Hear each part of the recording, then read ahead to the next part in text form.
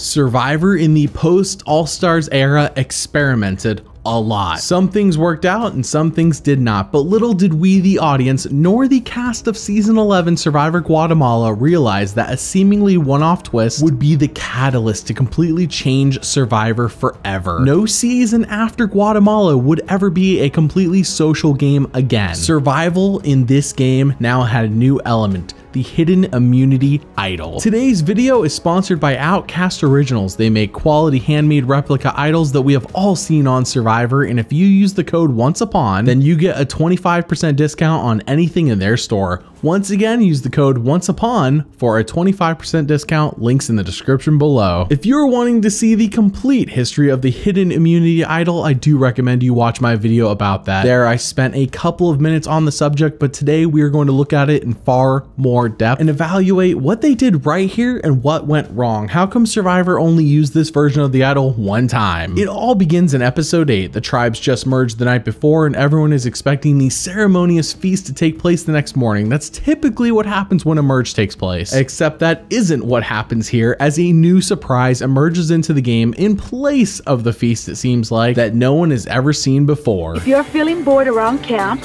or could use some peace of mind in this game, there's a small individual immunity idol hidden in the wood. This is in addition to any individual immunity you win at challenges. It is about six inches tall and is made of stone. What? This just blows everyone's minds. Nothing like this has ever existed in Survivor, and the strategy and gameplay opportunities it presents seem to be vast. Prior to it, the only way to be safe from a vote is to win the individual immunity challenge. Other than that, it took complete social gameplay to make it past tribal council, but this brand new idea of looking for something so small in a vast forest is too much for some. There's a little immunity idol about this big in a jungle that's this big.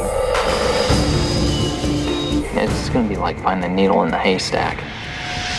You could be looking for days and days and days for the damn thing and still not find it. We as an audience don't really know anything the players don't know at this point, but after seeing them search and scour, Survivor finally gives us what we've been waiting for as they lead into a commercial break.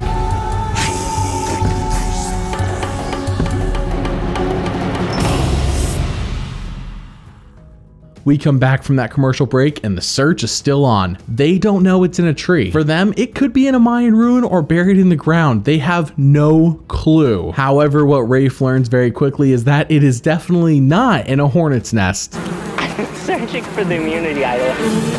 And I reach up and put my hand like in a hornet's nest at the top of this temple.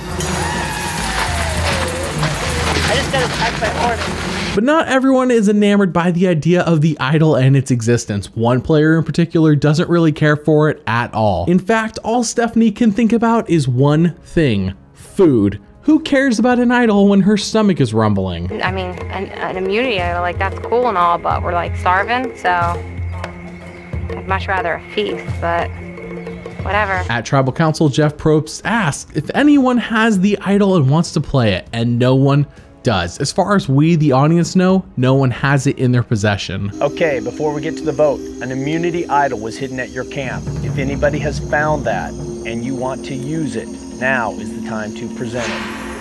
So we move on to episode 9, where all of a sudden we hear a motivational story from Gary Hogeboom, who has been pretending to be a landscaper all season, but no one believes him. And he tells us about this one time he was playing in the NFL and he led a come from behind victory against Detroit. In the NFL, we played against Detroit one year, and we were down by 20 some points. I threw for close to 300 yards in one quarter, and we came back and won in the last part of the game. And that's how I'm approaching this game.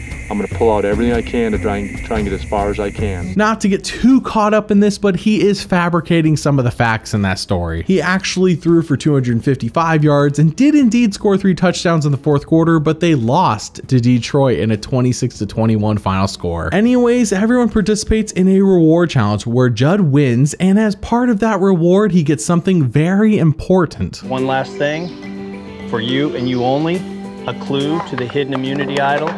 The next morning, Judd reads the clue with Stephanie, and they decipher that what it's really saying here is look in the trees and not on the ground. This idol still eludes you. It seems nowhere to be found. It's not buried or concealed, nor directly on the ground. I'd be like in a tree. Now keep in mind that despite everyone knowing that Judd has this clue, no one has asked him to share it with them. Obviously they figure he'll probably keep it for himself so that he can find the idol, but that is not what Judd does at all. Tree mail I got in my pocket, man. That thing is definitely by far on the ground, so to speak. I can't give away too many clues because I'm oh. trying to save my own ass, but it is totally on the ground. A very interesting tactic. They seem to buy it too. Anyways, we learn that Gary is going to be voted out next, and this is a good indication, combined with the partially fabricated story from earlier, that Gary has to find the idol. That's what the story is leading into here. Over here, to go just because he's head gaming everybody. Why Glad. does this seem too easy though? Getting nervous, like something bad's gonna happen. Okay, but how is Gary going to do this? As Judd stated before, the idol is by far definitely on the ground, which is what everyone seemingly believes. And that is what Gary thinks as well, until he catches Judd in the act. I think it's pretty amazing that Judd told everybody the clue that it's on the ground. And uh, I followed him back here and he's looking in the trees. It's pretty interesting. If it's on the ground, I wonder why he's looking in the trees. This leads straight into tribal council. That's right, they don't even show us anything between that and tribal council. And it seems to us that still no one has found this idol despite all that searching and the inspirational story from Gary. Our hopes were lifted up for nothing. That is until it becomes time to vote and Jeff asks, If anybody has found the immunity idol and wants to use it tonight, now's the time to bring it up. Oh my god, Gary. Oh man, good job. Damn. You cannot vote for Jamie. You cannot vote for Gary. It is time to vote. Gary plays the idol and saves himself and subsequently causes Bobby Jon to get sniped instead. Very nice. This helps propel Gary to actually make it another two episodes before they do vote him out finally. But the crazy part is that we never see him find the idol in the show. Now, if you watch the early show interview with Bobby Jon, which would have aired the next day, they show the extended clip of Gary finding the idol, which is longer than the one that they eventually do show to everyone at the reunion. So let's take a look at this and see how Gary found that idol. I've been looking in the ceiba tree. Well, lo and behold, I see the idol. This is highly secret. I'm going to keep it till I need it, which could be tonight. So that is the origin story of the hidden immunity idol. This is the only iteration of the idol that forces you to play it before any votes are cast, and this comes with mostly cons in my opinion. While it saves the person playing it, it just means that any majority alliance will simply vote out who else is in the minority. No power flips will happen in the game because of the idol. But what Guatemala did here that was fun was not letting us know that Gary found it until he actually played it.